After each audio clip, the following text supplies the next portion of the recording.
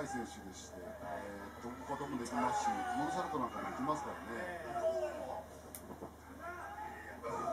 そして何かこう戦いの始まりがあんな卑猥な始まりだっただけに忘れがちですが勝てば山崎さん、優勝決定戦進出への望みがつながるわけですからね、やっぱりあの、はい。この優勝はあどちらにとっても大きな優勝だと思いますよ。まあ、星取り感情の上で非常に可能性は薄いと言ってもいいわけですけれどもただしい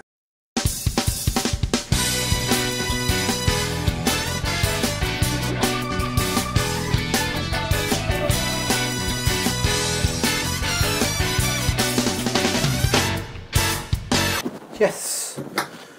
Board games, yes. Oh. Now, it has been a while, hasn't it? Which is due to because, for several reasons, I didn't have a table for several months of last year, which made it pretty difficult to review tabletop games when you haven't got a. Hmm? What about what? I'm wearing a what? Now, it has been a while, hasn't it? Which is admittedly my own fault because for a while last year, for several reasons, I didn't have a table.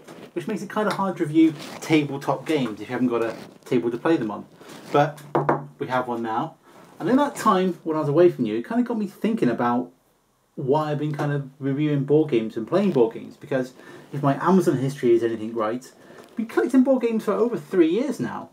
Um, started with this one, and then one, and then after that, several others joined the shelves.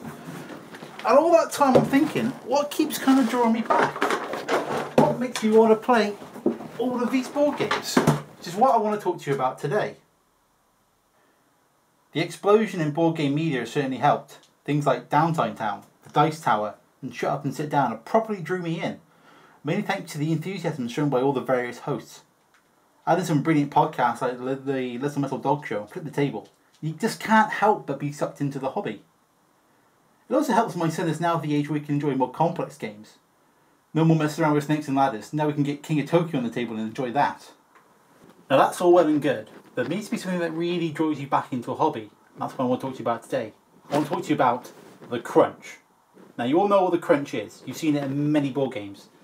It could be defending a bridge in Memoir 44, or going into that last corner in Formula D, or that last flick of that last cube in Cube Quest.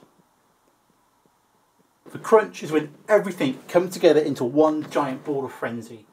The theme, the game mechanics, the people around the table, it all fuses into one moment of every board game. It's something that we all chase as board gamers.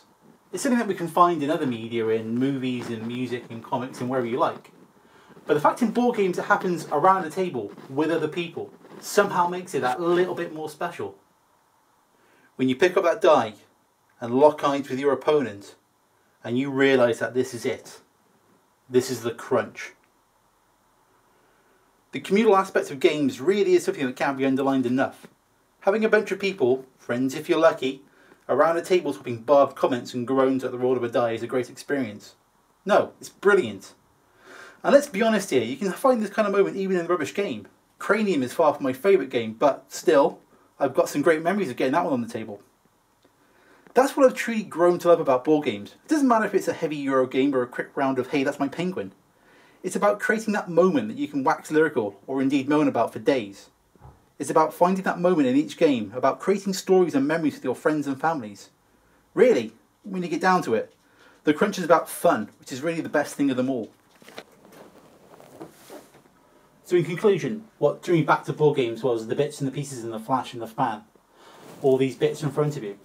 What keeps drawing me back every single time is the crunch. Because once you taste it, there's nothing else really quite like it. Do you reckon that we can play all of these games at once? Maybe?